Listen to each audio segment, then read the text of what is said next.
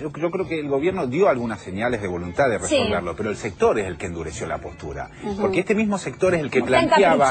Claro, e- es el que planteaba 35% de retención el año pasado. O sea, la 125, la ¿Ves? elevación de la 125 fue eso. Sí. Y después de un año están planteando un 15%. Ahora, vos decís, ¿por qué el gobierno los escucha o no los escucha? Obviamente que hay intereses económicos y políticos atados alrededor de esta historia. Los intereses políticos son los más graves porque o los más sospechosos porque son los que están diseminados en muchos medios de comunicación que hoy estamos leyendo, Sí. escuchando Sí, o viendo. definitivamente. Muy bien, vamos a la sección. ¿Está bien? Sí. Me gustó la, la- Está bien, vos me gustaste también. No me convenció para... No me importa, mira, vamos a empezar a pelearnos.